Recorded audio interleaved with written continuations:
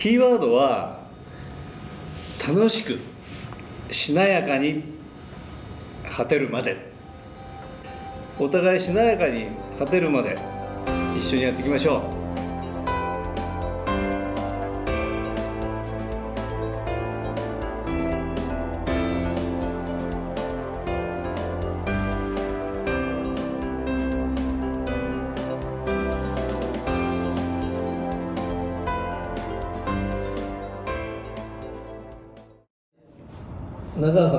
こんにちは。今日は全く本当に初対面に近い。はですよね。そうです。この前オープンスクールにね来ていただいて、い。いや、すっごい楽しかったです。楽しかったね、うん。あの北村隆さんなかなかすごいいい話でしたね、すごい素敵でした。でそれもあのフェイスブックに上げていただいたり、はい。どうもありがとうございます。こちらこそです。しかもあの明日から、い。あのいよいよ十勝ではい。行っていただくんですけどその辺のあの随行員じゃないか同行先生っていうの？はい。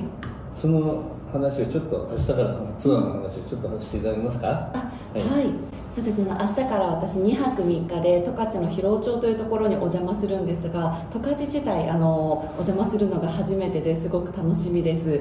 で、今回はあの昆布漁をやられている漁師さんにお会いできて、でしかもその通常の昆布漁に加えて、あの普通だったら廃材になってしまうところを上手にこう新しい商品にして、さらにそれを起点にして、こうあのいろんな観光だったりとか新しい取り組みに広げようってされている漁師さんにお会いできるということでものすごくあの先生というかもう一個人としてすごく楽しみにしてましてあの同行していただく皆さんと一緒にあの盛り上がっていろいろお話できたらなと思ってま昆布から始まって、うん。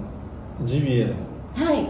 肉のね。あーそれも楽しみなんですよ。怖いですね。解体、うん。解体をするじゃ。ん、ねそれであとやっぱり十勝はもう食が豊かですから、うんうん。もういろんな食のぎっちり詰まったね2泊3日になりますけども、そうですね。あのまあ、中川さんに、はい。こういう熱中食の熱中小学校の先生をねお願いして、えー、と今度いつでしたっけ？10月？の25ですかね。じ授業があはいるんですよね、授業であのすごくあの興味深いのはあのなんていうかな釣りって男の男っていうのはおじさん、おじさん、あのだテレビではね。女優の人とか、はい。タレントの人が一緒うにん。やりましたみたいな、はい。たくさんたくさんありますよね。そうですね。あのこのギャップっていうのが、うんどどういうふうにごご覧になったんですか？どうしてあのギャップが起こるんだろうって。ああいやでも私自体も実は釣りを始めたの10年前なんですね。でそれまでっておっしゃる通り男性特におじさまのすっごいコアな趣味だと思ってたんですでそれこそテレビでたまにこう女性のタレントさんとかがしていても、まあ、あれはタレントさんだからできるものだって見ていたんですけど本当たまたま釣りをやってみる機会があってしかも全員初心者で手ぶらで竿とか一本も持たずにあの釣り船にお邪魔して釣るっていう機会があってそこであこんな手ぶらだし初めてでもレクチャーしてもらってしかもアジが全員10匹以上釣れてあこんな楽しい体験 しかもすごい手軽ででしかもその釣ったアジを自分たちでこう YouTube とか見ながら頑張ってさばいたらすごい美味しくって感動の連続でものすごいイメージが変わりました。みんな全てん。初めてやることっていう感じ、本当もう子供の気持ちで、はそれですか船で船で出たんですか？い、釣り船に乗って。そうなんです。あの東京湾に出てアジ釣りをしました。ああそうなんですね、はいそういうことがあってから、まうん、あそれで普通ややめるじゃないですか。やめるっていうか一回だけでね。もう一回だけでしょ、はい。ああ楽しかったなでもそれが、はい。こうここまで来てしまって、うん会社もお辞めになっちゃったんですはい、はい、そうなんです。ね。釣りで脱サラしました。誰か釣られたんですか？誰か。いやーなんかもうつ釣りという魅力に釣られちゃいましたね。それは今で言うと、う大体毎週どっか地方に行かれてるんですか？あそうですね、うん。今は結構行ってまして、うん。えっと、3日前までも富山県の方にのどぐろを釣りに行ってました、なんか随分高級になってきましたね、はい。そうなんです。そうするとそうするとさっきの最初の話で、はい。まああのダサいダサい男さんあの私みたいな中年 中年代の老人の趣味？うん。でしかも船で出すっていうのはやっぱり船ってやっぱり波がやっぱりうんったことないけど2メートル以上になると相当なもんでしょそうですね。こんな感じですよね。ね。うん。でやっぱりそれはいろんなあのいろんなこともあるから、はい。あの怖いじゃないですか。ああそうですね。ね。そういう時もあります。ありますよね、でそこをさっきもう一度最初の疑問でうんはい。いやそんなことないのやってしまえばもう、うん。っていう感じだったそうですね。最初はでもやっぱりすごくアジとかもう海も穏やかで釣り方もすごく簡単でハードルも低いところから始めて、でもそこからこうなんか釣り自体のアクティビティとしての魅力にはまっていく中とあと私食べることが大好きでしてもうあの釣り船で一緒になった常連の方からこの時期の何々は釣るとうめえんだぞって言われるともう行かなきゃってなって。旬ね。もう旬です旬。そう。確かに分かった。って私は旬を知ってしまったんだ。そうなんです。単単にあれじゃなくてね、うん。あーじゃあもう冬で雪だけどああいうのが始まるなとかっていう。そうなんです。考えるようになっちゃったわけ。そうなんです。あ。もう冬になるとふあの釣りは寒くて辛いんですけど肝が美味しいとか。ああなるほどね、はい。そうすると基本的には川じゃなくて海？そうですね。海沿い海で。ですね。というのが、えっと、実は竿を一本も持っていないんですよ。もえう一番釣る時年間100釣りとかしたのに竿はゼロで常にレンタル。はいそうなると実は釣り船ってあの海に出るのでちょっとハードル高く考えられがちなんですけど実はレンタル全部揃ってるし、うん。あの船長が教えてくれるんで初心者さんに一番いいのって私船だと思ってます。中川さんだから教えてくれるんだよ僕なんか言ったって別にいやいやいやいや。かわいそうちょっとなんとかしてあげたい っていう時代はもう過ぎて今や、うん。あれじゃない船長も一目置く、うん存在ですが、はい。基本的にはとはい。釣れそうなところにこうはい。連れてってくれるんですよね、そうですね。船長さんの仕事としてはね、はい。だからそれができないと大変だから、うん彼らも一生懸命やるでしょ。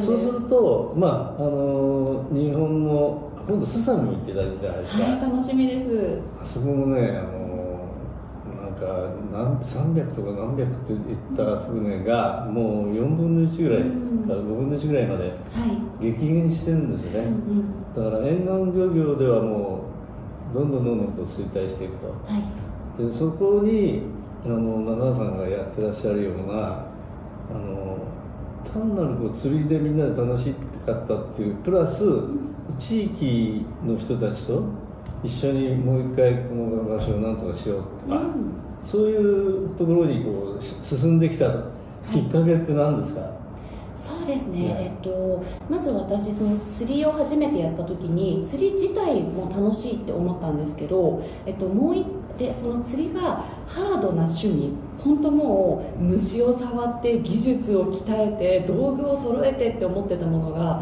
実はレンタルでよくて教えてもらえるすごい気軽なただのアクティビティだっていうのが一個の気づきともう一つの気づきがあのそれこそ旬とかあとは地域によっていろんな魚がいてそういう魚を釣りに行く時にこうそれまで釣りじゃない旅行を地域にしに行くと、なんだかこう触れ合える人が宿の方とか飲食店の方とかサービスマンの方ばっかりでちょっとこうお金のつながりみたいに感じるのは寂しいなと思った時期があったんですけど、あの釣りをしに行くと釣り船の中って地域のいろんな方が乗っていてで何時間も同じ船にいるんで世間話が始まってなんかこうそこからこの辺でどこどこのお店が美味しいよとかこの魚はこんな風に食べるとうまいんだぞとか明日暇なんだったらこの場所に行きなよっていう風にこう釣りで終わるんじゃなくて釣りから始まる地域の魅力をいっぱい教えてもらってうんで実際にその釣った魚を持って居酒屋さんとかに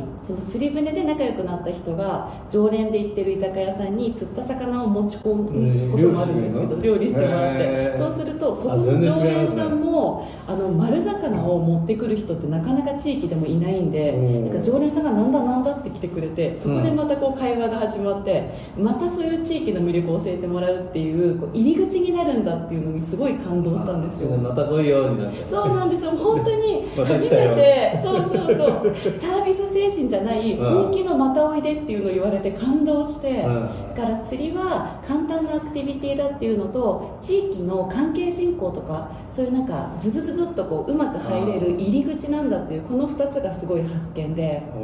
なので今回のすさみ町とかもおそらくそういうふうにただ釣って帰る方じゃなくて、うん。釣りから始まって地域ともっと関係してくれてなんなら一緒に盛り上げてくれる人を多分募集されていると思うんですけど、うん。なんかそういう関わりが全国各地で増えていったら嬉しいなと感じてます。そうですね。はい。だからね中小学校の生徒さんはぜひうん。どっか行ってもらいたいですね。もうぜひぜひ。あの今回11月に予定されてるねあの長さんにも引率で行っていただく須波町もはい、町長自らがうん、全部案内するんですよ。ねえすごいしかですも自分のね船に乗って一緒に、はい。元漁師だから。あー楽しみ。楽しいでしょ？はい。いや本当にねそういうことがあってあの町にいろんな人がこう出入りするようになっちゃったんですね。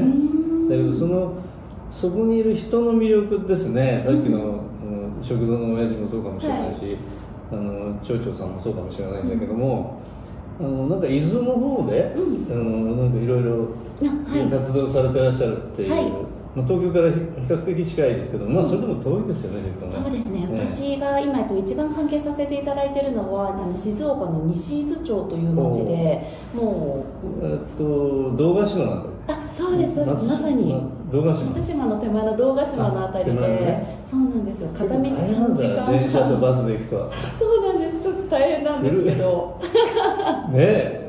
でもあれ車で行けばあれだけど結構大変ですよね。そうなんです結構大変なので,、うん。でそれでそういうとこですねやっぱ観光客の方も、まあ、コロナもあって減ってしまったりあああとはあちらの漁業者さんが今もう、えっと、定置網がそこにいる漁師さんたちでは上げれないってなっちゃったぐらいに漁業者が減っていて。そうなんです。あなのでこう街の中で食べる魚を外から仕入れて、あのええ。街の中の飲食店とかで出すっていう状況に一時期なってしまっー。て。おでそれをなんとかするために、えっと、微力ではあるんですけどあの釣り人とか観光客にお金を払って釣りをしてもらいさらにその釣った魚を町が買い取って地魚を町に流通させるっていう仕組みを実は作らせていただいたんです。待ってあの僕が釣りに行くと、はい。まずお金もらえるの？あえっと、お金を払ってもらって。釣り船に、はい。じゃあ例えばそうだな一人何千円かなはい、何千かで、ね。でな3時間とか。はい、3時間とか4時間とかあ5時間とか、でそういう5000円ぐらい払うでしょはい、そうすると僕がなんか釣ったとするじゃないですか、はい。そうそうそれ買ってもらうのね？そうなんです、へえそれは新しいですね。これをこうまた現金ではなくて地域通貨でそうなんですよ。必死で。そうそう教えてくれるんでしょ？はいもちろんじゃあ大体釣れるじゃないですか、はい。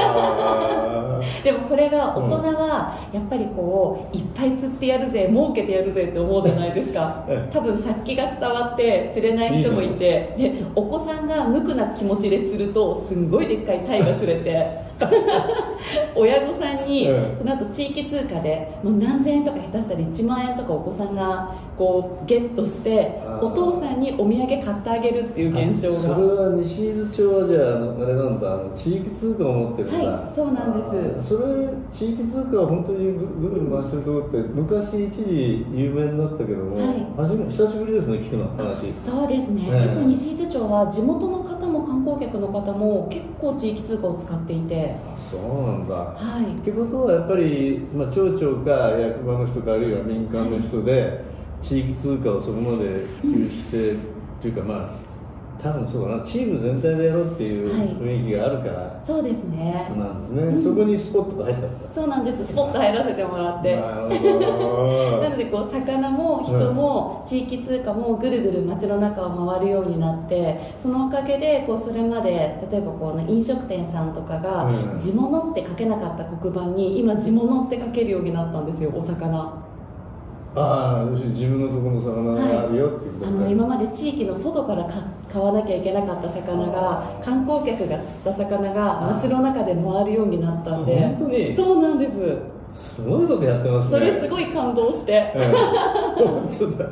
へえそそれで西伊豆町はすごくそういうのがあるけども、うんあのまあ今言ったそのみんなで何かやろうっていうところがある,、あるところあるいは役場がそういうことをやろうとしてるところっていうのは多分少ないんだと思うんですよね、で日本には、まあ、伊豆伊豆だけ見てももう多分何十と漁港があるでしょ、はい。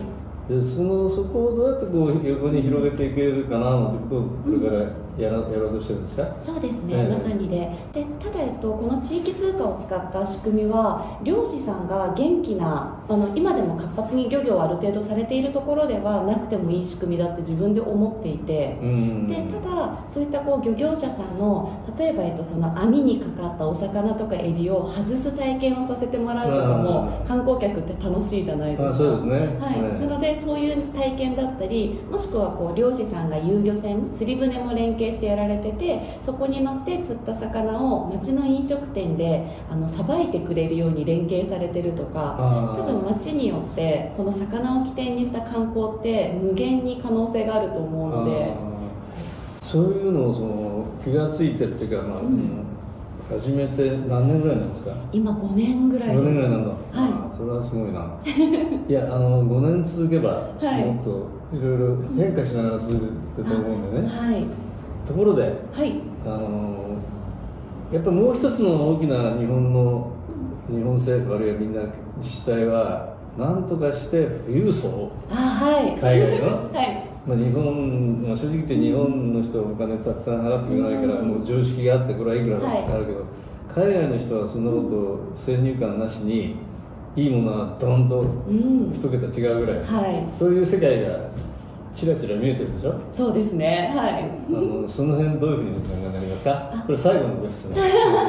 そうですね。あの富裕層の方に向けてのその釣りとか漁業はものすごく可能性があると思っています、ん。でえっとまず釣りについては私も結構その富裕層の方があの、まあ、いっぱいなんですかフォロワーさんとしてついている、あのうん YouTuber さんとかえインフルエンサーの方からよく日本でそういう富裕層向けの釣りをしたいけどどうしたらいいっていう相談が来てその相談が私に来るっていうのが最近ちょこちょこ起きてまして。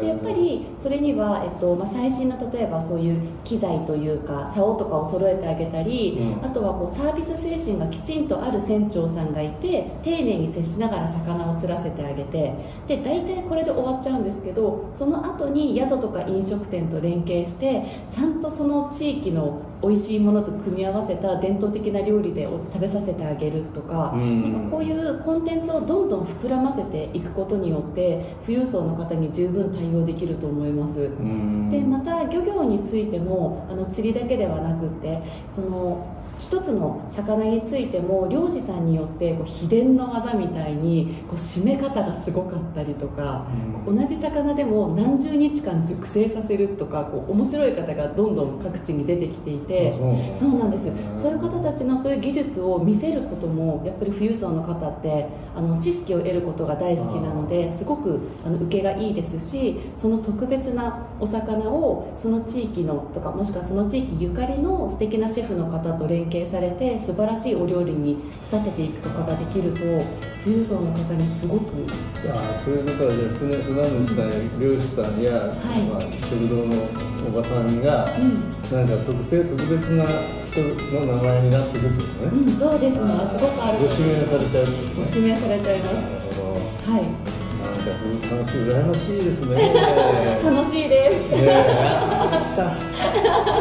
ぜひあの食堂の中央区今回実はあのあまりにも子供の方が多くて早めに締め切ってそれでもたくさんの方が生徒さんになっただいたんですけどその方たちがぜひ海にうん。長良さんと一緒にねあー来ていただけるように。お願いします。ぜひぜひ行きましょう。ではお後がよろしいようで、はいありがとうございます。どもありがとうございました